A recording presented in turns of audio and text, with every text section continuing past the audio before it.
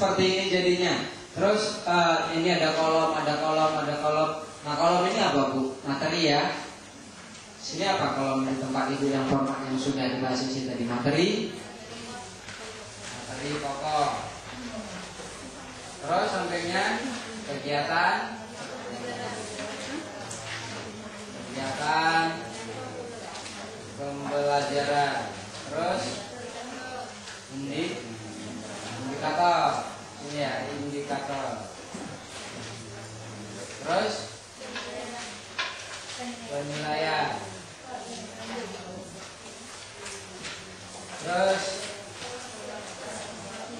Lokasi waktu ya. Terus sumber? Sumber belajar. Kan seperti ini bu ya. Ini sebagai contoh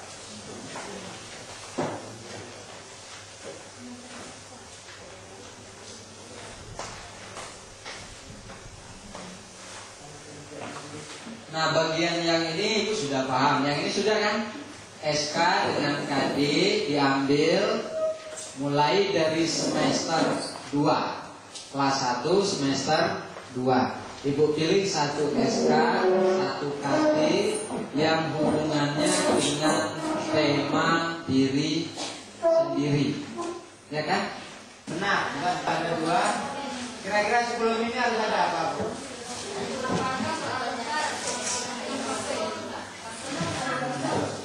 kelas satu kelas satu makrajul hurufnya belum tentu bagus tapi ini ya. Kalau melafalkan itu kan intinya begini ya. Kalau saya baca alhamdulillah anak-anak baca alhamdulillah itu kan melafalkan. Tidak ada tujuan untuk dia itu bisa menghafal. Tidak ada.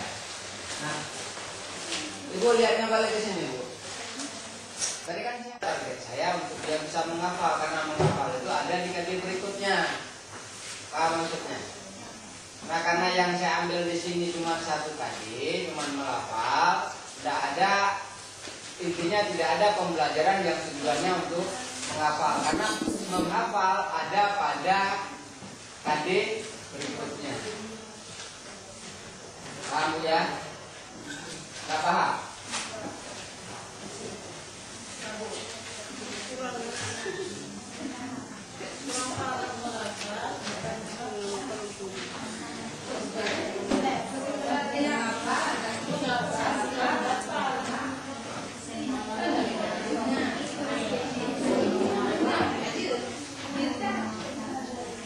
Nah maksudnya ini loh Ibu itu kan ada KD melafalkan Quran surat Al-Fatihah dengan lancar. Ya.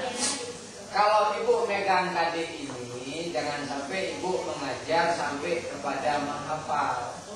Karena menghafal itu ada pada KD selanjutnya. Bisa jadi minggu depan, bisa jadi minggu depannya. Sekali baru masuk ke pelajaran menghafal. Nah, ketika belajar melafal, melafalkan saja, jangan digabung-gabung. Paham maksudnya ya? Nah, kira-kira untuk sampai kepada melafalkan Quran, Quran surat Al-Fatihah dengan lancar, apa-apa saja indikatornya? Apa-apa saja indikatornya? Yang ibu ngajari apa-apa saja?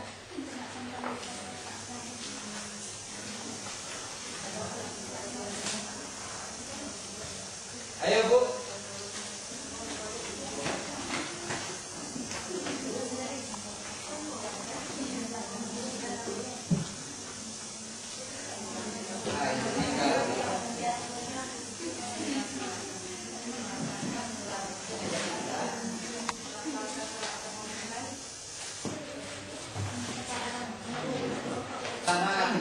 tapi tidak lancar. Paham ya? Jadi kalau lancar sudah ada jaminannya benar. Nah target kita yang pertama dia bisa melafalkan dulu secara benar. Kalau sudah benar, baru baru apa bu? Baru secara lancar. Nah kalau secara benar nanti pada kegiatan pembelajarannya, kelafatannya itu dipenggal-penggal. Ayo, alhamdulillah, kan enggak nggak langsung alhamdulillahirabbil alamin kan dipenggal-penggal pada saat mengajar pelafatan secara benar. Kan tidak begini alhamdulillahirabbil anak-anaknya alhamdulillahirabbil alamin. Kebetulan di Aceh, kebetulan di Aceh untuk pokok ini. Ayo coba saya ambil matematika nanti kapok nggak? Kalau memang nggak dipenggal-penggal. Paham maksud saya?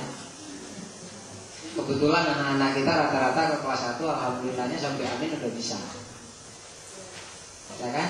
Hampir rata-ratanya bisa Nah untuk matematika, untuk apa dan seterusnya Kan tidak mungkin pembelajarannya seperti seperti ini terus Nah maksudnya dengan benar ketika di kegiatan pembelajaran Maka kita tidak pernah seorang guru itu menyuruh anak-anak mengikuti lapat dari seorang guru secara simultan terus. Alhamdulillah alamin. Anak-anaknya alhamdulillah alamin. Mungkin tidak